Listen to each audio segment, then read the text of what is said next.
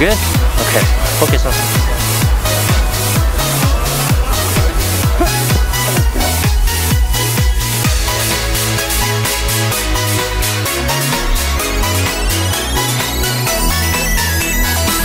What's up guys?